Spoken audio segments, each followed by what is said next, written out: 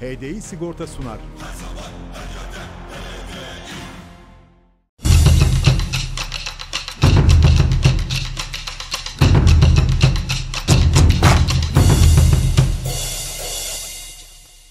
Evet Dikine Futbol'dan herkese merhabalar ee, sevgili futbol severler, sevgili Fenerbahçeliler.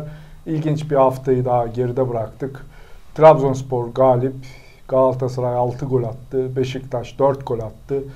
Ee, rakipler arabayla gol atarken Fenerbahçe'de buz tuttu. Bir bir berabere kaldı Sivas'ta. Tekrar Bozkurt'la beraberiz. Hoş geldiniz. Hoş bulduk, teşekkür ederim. Ee, geçen hafta Sivas maçıyla ilgili uyarılarım vardı. Sert zemin, zorlu bir rakip. Ee, berabere kaldı Fenerbahçe. Ee, bekliyor muydun böyle bir sonucu ve e, sence bir puanla ilgili düşüncelerin? Ee, bekliyordum. Fenerbahçe buradan yenilmeden dönsün diyordum. Çünkü yenilgi büyük takımlarda çok büyük sıkıntılara yol açıyor. Yani bizim e, bu sezon 4 yenilgimiz var. Mesela Beşiktaş'la berabere kalsaydık belki çok kızardık. Çünkü o gün Beşiktaş'ın eksikleri vardı filan. Şimdi geriye dönüp baktığımızda ya berabere kalsak fena sonuç değildi diyoruz. Büyük Fenerbahçe takım liderdi. liderdi. O maç beraber bizde Fenerbahçe Liderdi. bir puanla Ama o gün liderdi. çok kızardık. Niye berabere kaldık falan diye. Büyük takımların berabere kalmanın çok e, kötü bir netice olmadığını muhakkak içselleştirmeleri lazım. Konya ile berabere kalsaydık sahamızdaki kalabilir. Yine o gün kızardık. Ama biz onları kaybettik. Bak Malatya ve Antep maçlarına demiyorum. Orada biz bazı futbol yanlışları yaptığımızı düşünüyorum. E, bu maçta aslında 2-1 bitmeye aday bir maçtı. Max Gradel atsaydı o golü Altay'dan dönen topu 2-1 bitecekti. Ee, eğer Samat da kendisine gelen iki toptan bir tanesini atsaydı 2-1 Fenerbahçe kazanacaktı. Maçın öyle hakkıdır falan olmaz ama bu maç zaten en fazla 2-1 biterdi. Her iki takım da birbirini çok bekleyerek oynadı. Biz bir şeyleri yanlış yapıyoruz. Yani ben mesela burada Fenerbahçe niye berabere kaldı diye e, beklediğim bir skordu. E, tabii ki üzüldüm Fenerbahçe puan kaybetti diye ama totale bakmak lazım. Hatırlıyor musun? Başakşehir maçından sonra senden şunu konuştuk. Ocak ayında Fenerbahçe 7 lig bir kupa maçı yapacak. Acaba kaç puan alır? Ben de 17 puan toplar demiştim. Benim Sivas'a beraberlik veririm demiştin. e, demiştim bir tane beraberlik verdiğimi geçtik. Evet. Söylemeyeyim. İki tane maç kaldı. Hmm. Bir beraberlik verdiğimi yenerek geçtik. Yani 17 mesela yaparsa Fenerbahçe totale bakmak lazım. Onun için biraz daha serin kanlı bu maçları değerlendirmekte fayda var diye düşünürüm. Evet ben de maç 1-1 olup devre bitince bir tweet okumuştum. 21. yüzyılın 21. yılının 21. günüydü dün. Herhalde dedim bu da 2-1 bitecek. Saatte 21 falandı belki. Yok 20 maç sonuydu. evet eee, işte uzatmalarla falan hakikaten Evet. saat 21'de 2-1 Fenerbahçe kazansaydı Olabilirdi. çok ilginç olacak. O yani ama şey de kazanabilirdi. Sivas Spor da kazanabilirdi. Her iki takım da birbirini iyi tan- tan- tanıyor. Yani Sivas Spor'un artıları vardı. Seni çok beğendiğim hoca Max Gradel. Mesela dün etkisizdi. Belki Fenerbahçe Evet. onu etkisiz kıldı. Fenerbahçe beklerini çıkartamadı. Belki çıkartmadı, belki çıkartamadı. Sivas Spor'un bekleri hücumu seven oyuncular Uğur Çiftçi gelemedi. Belki gelmedi, belki Fenerbahçe getirmedi. Bu maçları biraz daha rakibi de analiz ederek çünkü eğer yanılmıyorsam Sivas Spor'un son 10 maçta bir mağlubiyeti var. 9 maçta bir mağlubiyeti vardı. 10 maçta bir mağlubiyeti oldu. Biraz rakip analizinde yaparken e, bunlara da bakmak lazım. Yani kimden oynuyorsun? Yenebilir misin? Biz ama şöyle bakıyoruz. Biz berabere kaldık. Rakibimiz 6 gol attı falan. Evet. Hayat öyle ilerlemiyor. Evet. Bu arada hakikaten Beşiktaş'ta bayağı başarılı futbol oynadı. İyi, güzel goller attı. Güzel bir galibiyet aldı. Viviano da hala uçuyordur bence köşelere. Top kurtaracağını zannetmiyorum. Ee, Süleyman Urma'ya da buradan selam. Türkiye'de çok çok iyi genç kaleciler ve stoperler varken İtalya'da ununu elemiş, eleğini asmış insanları getirip e, kendi yoluna gidiyor. Biz hafif Fenerbahçe'den devam edelim. Efendim dün e, evet Fenerbahçe Sivas'la berabere kaldı ve sosyal medyada hatta normal medyada da Erol Bulut'la ilgili bayağı ağır eleştiriler vardı. E, Bayern Münih geçtiğimiz gün Ocak ayı içerisinde 2021 yılında Almanya Kupası'na ikincilik takımı Holstein Kiel'e elenerek veda etti. E, Şampiyonlar Ligi şampiyonu, Almanya şampiyonu Lewandowski'li Lewandowski'yi de oynattı 74. dakikadan sonra ama 120 dakika dengeyi değiştiremedi. Ee, Barcelona İspanya Süper Kupası'nı finalde kaybetti. Real Madrid hem İspanya Süper Kupası'ndan yarı finalde elendi hem de İspanya Kral Kupası'ndan e, ilk turda 3. lig takımına Albacoyal'a e, elenerek veda etti. Rakip de 10 kişi kalmıştı. Zidane var. Başlarında Şampiyonlar Ligi'nin tarihinde en çok kazanmış teknik adam. Chelsea'nin 2021'de galibiyeti yok. Çok büyük transferler yaptılar. E, ve teknik direktörü Lampard bizim bu takımımızla yarışmacı o kimliğine bürünmemiz beklenmemeli şu an için. Açıklamasını yaptı. Bütün İngiltere bunu konuştu. Artetalı Arsenal'in nerede olduğunu ben de bilmiyorum. 10. mu, 11. mi, 12. mi? Lig kupasından elendiler. Kendi sahalarında 4 dediler. Dün gece Avrupa'nın en gözde takımı son 2 yıl dünyada yılın teknik direktörü seçilen Jurgen Klopp'un öğrencileri 46 maç sonra Anfield Road'da Burnley'e ligin e, çok da spektaküler olmayan takımına 1-0 yenildiler. Gol atamadılar. Pop harika bir maç çıkarttı ve Burnley'e 1-0 yenildiler penaltı golü eşli bahsi. Ve bütün bunların sebebi de Erol Bulut kötü teknik direktör. Sen bugün e, bugün ya da dün bir yazı yazmışsın Futbol.com'da okudum. Çok e, bakış açısına insanları değiştirebilecek bir yazı. Yani okumamış olanlara tavsiye ederim. Bu söylediklerini de yazmışsın. Çoğunu evet. Çoğunu yazmışsın. E, hakikaten biraz daha olayı serin kanlı e, düşünmemiz lazım. Biz bak neredeyiz biliyor musun? 8-10 sene önce değil. 8-10 sene önce Fenerbahçe Sivas. Rahat yener Fenerbahçe. 14 yabancı kuralı geldiğinden beri Türkiye'de daha başka futbol oynanıyor. Rakipler en az senin kadar dirençliler. Sen rakiplerinden daha fazla koşmalısın. Daha fazla taktik üretmelisin. Ve bazı maçları da berabere bitireceksin. Bazılarını da mağlup bitireceksin. Türkiye Ligi'nde öyle Lyon'un mesela bir dönem vardı. Le Gouin'le beraber haftalar öncesinden şampiyonluğu ilan eder. Paris Saint Germain'in işe geçimi. Türkiye'de zaten öyle bir lig olmuyor ki. Fenerbahçe'nin en görkemli sezonu hangisi? 88-89 dersem itiraz eder misin? Tabii evet. tarihinin en iyilerinden biri. Kaç hafta kala şampiyonluğu ilan ettik? Birlikte, evet. Kaç hafta kala şampiyonluğu ilan ettik? Bir hafta kala Konya maçını yendik. Evet. Öyle ilan ettik. Yani 7 hafta önce falan. Türkiye'de öyle kopup kimse gitmiyor. Serin kanlı olmak lazım. Ha Erol Hoca'yı eleştirirsin. Dün dersin ki ya işte Tiam'ı almasaydı oyundan diyebilirsin. Bu Tabii bir, ki. bu, bu bir eleştiridir. E, diyebilirsin ki bu taktiklen değil daha önde basarak, pres yaparak bırak biraz risk, riske gir. Max Gradel arkaya koşu alsın, Erdoğan koşu alsın, Kayo'da gir, girdiğinde bir şeyler yapar yapmaz onları riske diyebilirsin. Ama biz maalesef öyle demiyoruz. Biz çok öldürücü e, şeylerle gidiyoruz. Son 6 maçta 6 galibiyet aldı mı Fenerbahçe kupayı da dahil ederek? 5'lik bir kupa. Onları kim aldı? Onları futbolcular aldı. Tesadüfen aldı. Dünkü beraberliği kim aldı? Erol Bulut aldı. O zaman bu analiz yanlış. Evet. Bir de mesela Sayın Başkan maç saatlerine itirazımız yok dedi ama ben kendi adıma söyleyeyim. İlginç geldi bana. Yani bir maç Sivas'ta oynanıyor. Eksi 14 derecede. Bir maç İstanbul'da oynanıyor. Atatürk Olimpiyat'ta. Biri 16, biri 19 diye tüm Türkiye'de anket yapsanız sonucu, e, sonucu kimse bilmese çok uzun ağırlıklı Sivas'taki 16'dır. İstanbul'daki 19'du derler. Evet. İki büyük takım. Peki başka bir şey soracağım. Atatürk Olimpiyat Stadı'nın zeminine çimlerinin basılmasını engellemişsiniz. Ee, antrenman yapılmasını istemiyorsunuz. Neden? Şampiyonlar Ligi finali var. Neden? Letonya milli maçımız var. Neden? Türkiye Süper Kupa finali oynanacak Başakşehir Trabzon'umuz. Çok güzel bir neden. Takımlar başka bir alanda ısınmışlar. Peki niye o maçların hepsi gece değil mi? O maçların provası olarak geliş, gidiş, şu, bu her şeyle niye aynı saatte oynatmıyorsunuz 19'da 20'de o karşılaşmayı? Prova çünkü. Başka da prova maçınız yok. Yani niye Fenerbahçe maçı 19'da, Beşiktaş maçı 16? Ya bunu da anlayamadım. Arada minimum eksi 7 derecede fark var. Bir ilave yapayım mı? Evet. Sivas Spor'un oynadığı maçlara baktım. Son 3 maçını Sivas Spor, Fenerbahçe maçı öncesindeki son 3 maçını 13-30, 13-30, 16'da oynamış. Fenerbahçe maçını 19'da oynayacak. Sonraki ikilik maçını iç sahada yine 13-30 ve 16'da oynayacak. Bak benim itirazım şuna kim haklı kim haksız değil. Ne doğru ne yanlış. Sivas Spor bütün maçlarını 16'da oynasın. Kabul mü? Kabul. Kimden oynayacaksa. Niye Fenerbahçe maçını saat 19'da oynuyor? Ee, aslında tek bir nedeni var. Uzun yıllar yayıncı kuruluşta çalıştığım için biliyorum. Ee, şöyle gelişiyor olaylar. Ee, sakın Beşiktaş camiası yanlış anlamasın. Özür dileyerek söylüyorum.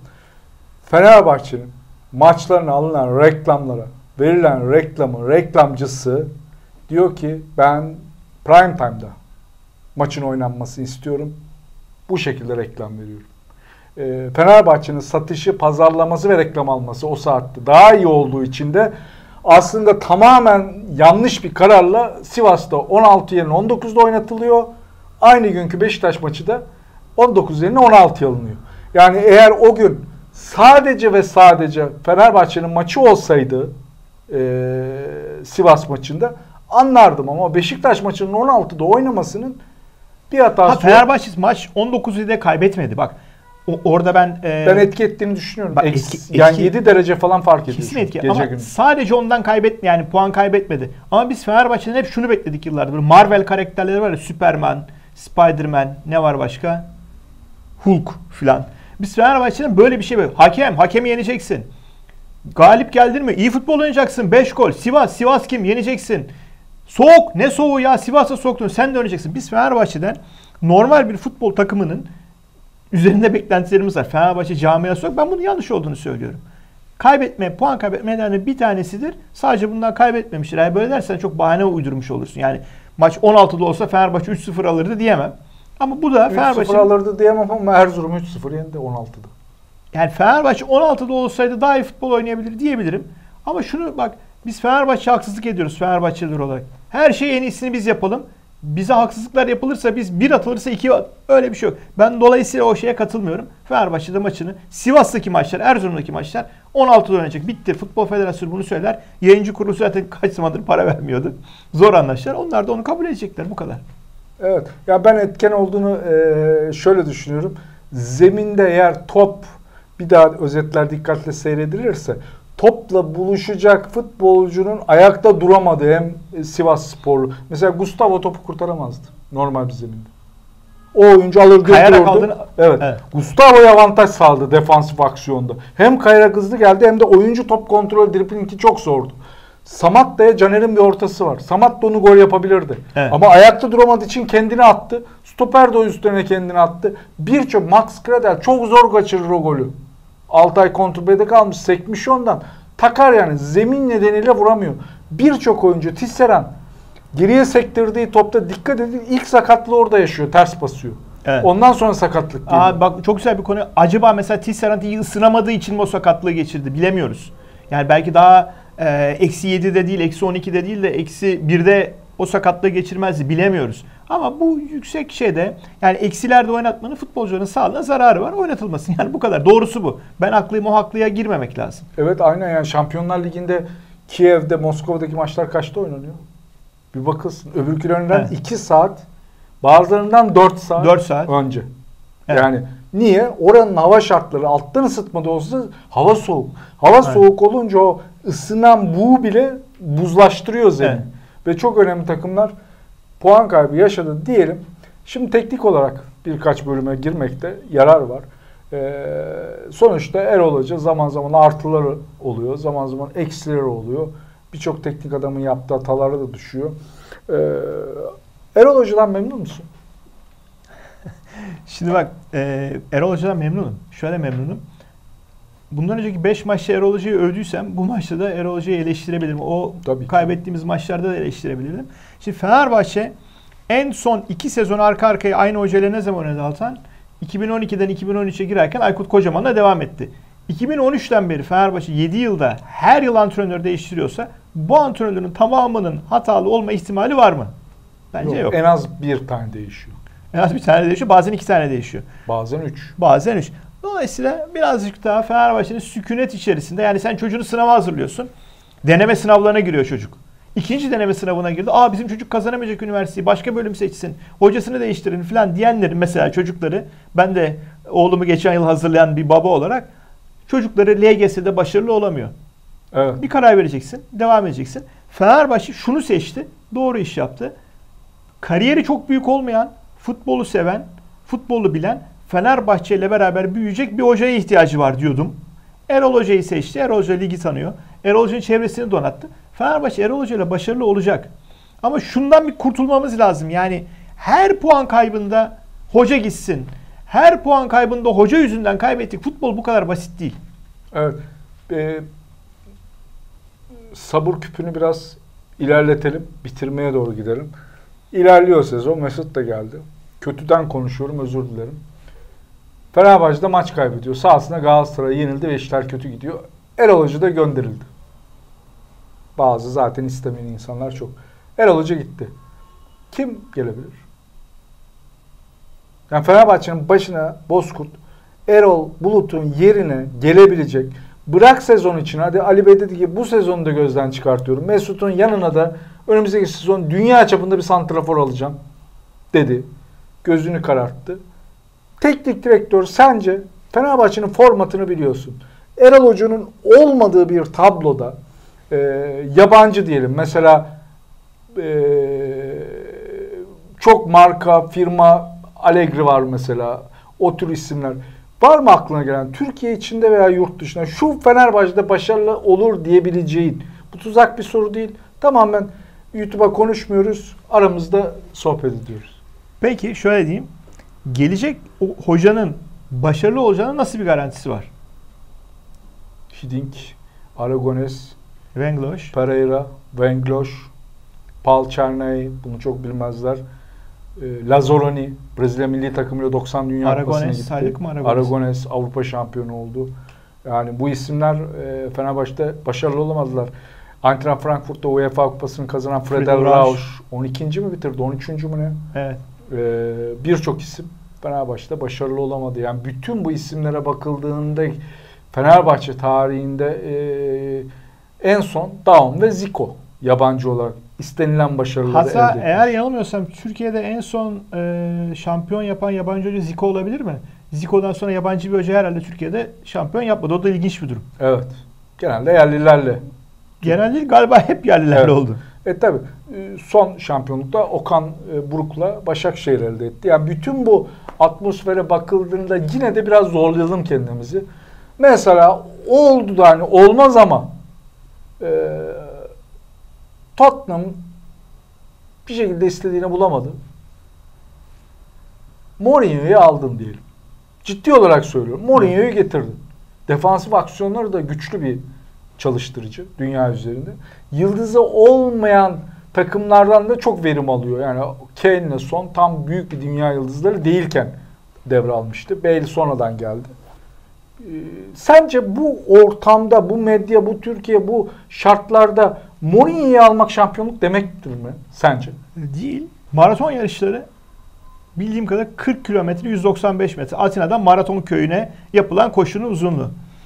Atletler en çok 15. kilometrede bırakıyormuş. 15'i geçen genelde yarışı bitiriyormuş. Şimdi mesela maraton koşarken de büyük atletler hemen öne geçmezler. Maratonun belli bir yerine kadar mesela sen benim rakibimsin. Ben 18. sıradayım. Umurumda olmaz. Altan'a bakarım. Altan 20 metre önümde. Yakalarım ben bunları. Sen de 16. sıradasın. Biz ne yapıyoruz? Ya 18'de bu adamı atalım yeni birisini maratona koyalım gibi düşünüyoruz. Bu kadar basit değil hayat. Türkiye'ye gelecek hiçbir hocanın da başarılı olacak olmayacak futbolcunun da garantisi yok. Biz futbolun doğrularını yapmaya gayret edelim. Kadro planlamamızı doğru yapmaya gayret edelim. Futbol planlamamızı, kulüp planlamamızı yaparken doğru işleri yapalım. Ondan sonra başarı gelecek. Ama sabırsızlık bunun bir parçası olmasın. Evet. Erol Hoca'dan bağımsız söylüyorum bunu. Evet. Ee, Ekim ayının ortalarıydı galiba. İngiltere'de 14. sıradaydı Manchester United. Evet. Premier Lig'de. Burada Başakşehir'e 2-1 yenildikleri maçtan sonra yenen ilk golün, Dembaba'dan yenen Evet. ilk golün büyük bir fotoğrafını pilot kameradan çekilmiş. Koyan İngiliz basını aptallar başlatmış. Aptallar dedi. Ve Solskjaer'in yerine de yönetimin Pochettino'yu getirmek üzere oldu yazılmıştı. E, fakat şu anda Manchester United lider oldu. E, ve bu hafta sonu da pazar günde çeyrek final e, FA Cup'ta Liverpool'la oynayacaklar. E, değişik bir yere gelmiş durumda. Şampiyonlar Ligi'nden de elendiler bu arada. Evet. Başakşehir'e yenildikleri için. Evet. Ama arkalarında durdular. E, Solskjaer'in. Başka bir yere geldi. Ersun Yanal'ı hatırlayın arkadaşlar. Sanırım 5 puan öndeydi Fenerbahçe. Herkes gümbür gümbür şampiyonluk diyordu. Eskişehir deplasmanına gitti Fenerbahçe. Evet. Yenildi. Sonra Sivas mıydı? Sonra Sivas'a gitti. Onda da yenildi. Sonra İstanbul'a geldi. Elazığ ile oynadı. Yılmaz Vural çalıştırıyordu. 2-2 kaldı Kadıköy'de. 3 maç 7 puan kaybetti. Ve Nisan'da şampiyon oldu. Evet. Yani burada şimdi herkes diyor ki Beşiktaş böyle oynatıyor. Ya Sergen Yalçın Fenerbahçe'de Erol Bulut da Beşiktaş'ta olsa şu anda Fenerbahçe 10 puan önünde mi olacak? Bunun garantisi var mı? Abi biraz serin kalındırmak lazım işte. Ya biraz bir- bu camianın çocuğuna yani Arsenal Arteta'ya sahip çıkıyorsa Chelsea Lampard'a işte Gerrard İskoçya'da çalışıyor. Herkes çocuğuna sahip çıkıyor biraz Evet. kötü günde.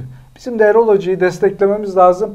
Destekten destekler. Desteklemeyen en azından köstek olmasın diyelim. İkinci bölümde biraz daha transferle ilgili konuşacağız. Bozkurt'tan eee, bu konularda bilgi almayı umuyoruz.